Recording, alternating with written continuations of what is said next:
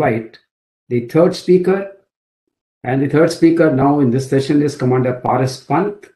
He'll be speaking about the naval requirements. Commander Paras Pant is an officer of the executive cadre uh, and is specialized in naval gunnery and has served as on board on various naval ships for about 10 years. He has served as instructor at the gunnery school, INS Dronacharya at Fort Kochi. So over to uh, Commander Paras Pant. Share my content, sir. The It's not visible as yet. Yeah, thing is coming. is the presentation uh, visible, sir? Yeah, it's visible. You can go in display mode, full screen. Full screen, sir. Yeah, that's right. Please go ahead. Uh, first of all, uh, thank you, uh, Air Marshal uh, Srivastava, for the introduction, sir. Uh, respected Chair, distinguished guests, ladies and gent- uh, gentlemen, I'm Commander Paras Pant, Commander Staff Requirements at the Directorate of Staff Requirements at the Integrated Headquarters of Ministry of Defense Navy, which oversees functioning of the qualitative requirements and undertaking procurement of weapons and sensors for Navy, including night vision and electro-optical equipment. Over the course of the next 15 minutes, I would provide an overview of Indian Navy's requirements of night vision and electro-optical devices. The scope of the presentation is as shown on the screen.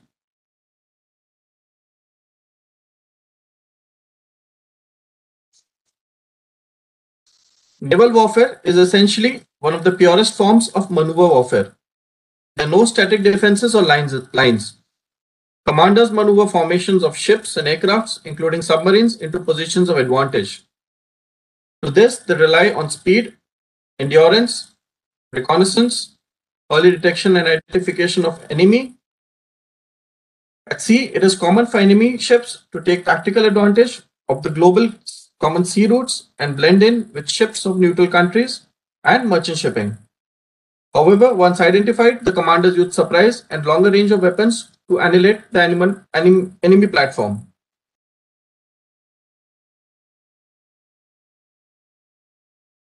Consistent with precise battle space awareness is an essential requirement for naval forces.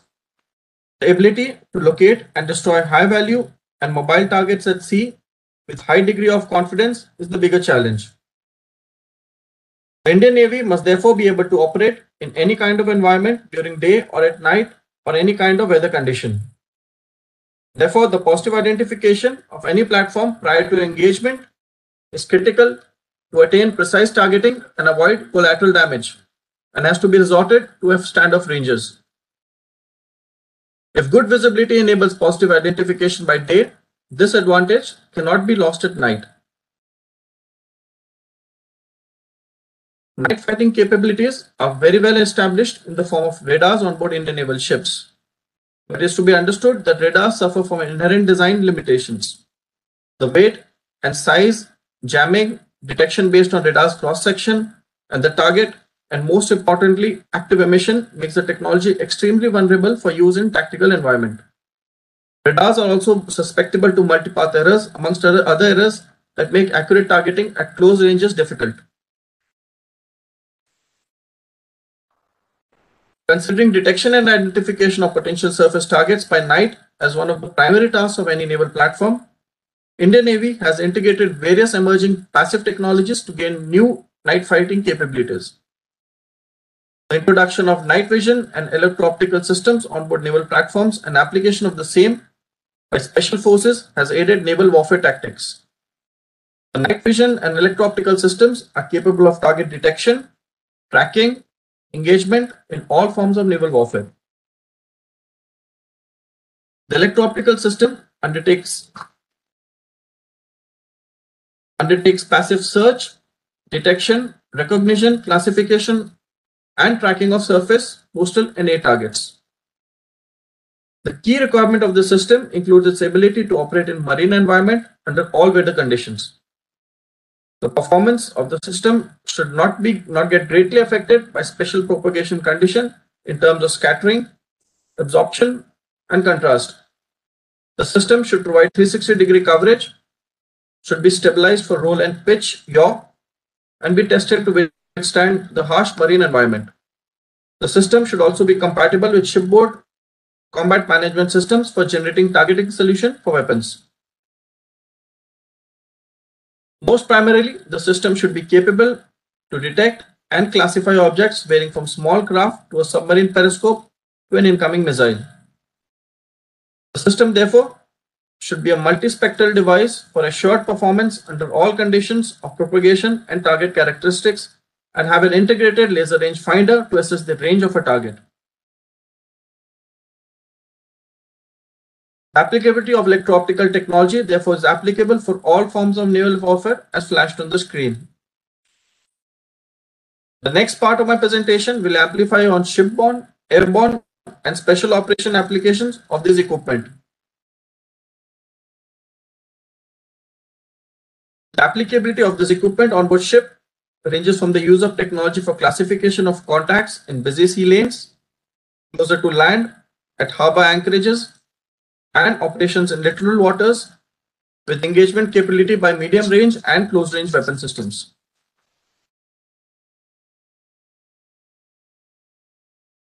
The inventory of equipment on board Indian naval ships ranges from radars with inbuilt electro-optical infrared sensors to electro-optical turrets, night vision binoculars, and thermal imaging infrared sights. Targeting devices include electro-optical sights which are interfaced with guns so as to provide targeting information for carrying out attacks using anti-shipping missiles, rockets, and machine guns.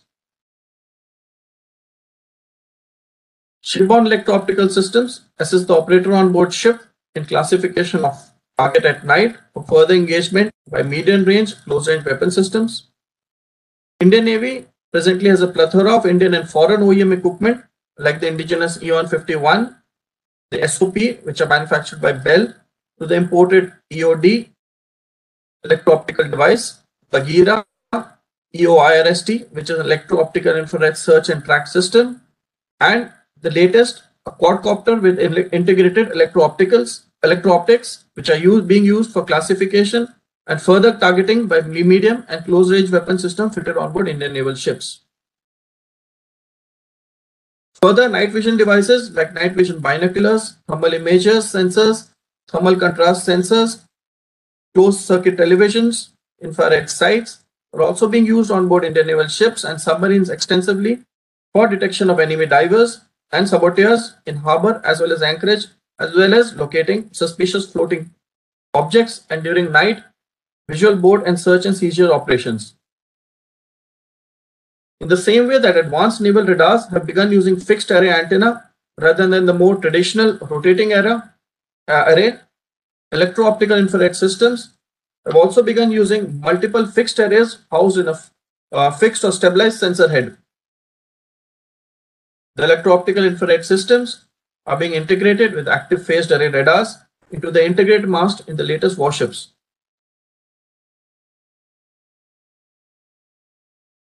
Detection and identification of potential surface targets by night is one of the primary tasks for naval aircraft by night.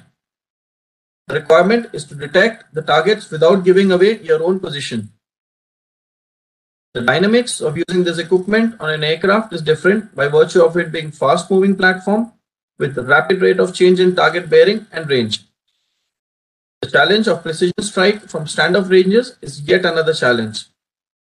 The above challenges are superimposed in naval environment with flying over sea and night operations on an aircraft from a moving deck.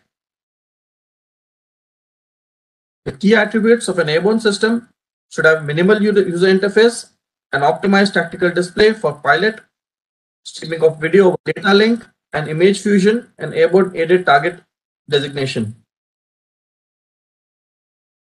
Night surveillance devices on aircraft also use night vision goggles, compatible landing aids for ships including night vision goggles, light, lighting assisted by other aids such as homing beacons, data link, including helmet mount night vision goggles, Generation 3 for pilots. The design sensor should therefore enable passive detection by the use of forward-looking infrared and should also aid the pilot in night orientation during low-level flying. Special forces could be employed for intelligence, surveillance, and reconnaissance, which are known as ISR missions, in hostile territory behind enemy lines in, or- in order to penetrate the fog of war and obtain reliable information with respect to targeting data for carrying out precise offensive strikes. Special operations are mostly carried out under the cover of darkness and in low visibility conditions necessitate the use of robust and reliable night vision devices. The peculiarity of marine environment with respect to these night sights is that they should be splash proof, moisture resistant, adapted to saline environment, and shock resistant, operator friendly, and hands free, that is, helmet or weapon mounted. Additionally, the use of these sights in combat freefall should cater for rapid changes in pressure and temperature. The night vision devices currently held with the special forces include thermal imagers, binoculars with compass and rangefinders and night vision sights, which could be either weapon or helmet mounted. Peripheral night vision night vision devices should be helmet mounted with four tube or four eyepiece configuration so as to provide a better field of view of at least 97 degrees. Presently, the twin, tube, twin tubes have a field of vision of only 40, 47 degrees. Additionally, night vision binoculars should have feature of auto gating and white phosphorus display. With regards to night vision monoculars, it provides night vision capability to a single eye while also retaining ocular vision on the other eye. This allows the operator to instantly focus attention on target in both normal and low visibility conditions. The requirement of these devices is for generation 3 and above. To conclude,